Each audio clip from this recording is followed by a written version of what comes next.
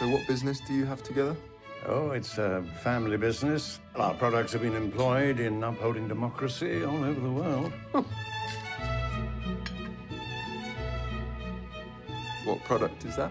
Basically, our best-selling product is the hand grenade. Sorry, the what? The hand grenade, dear.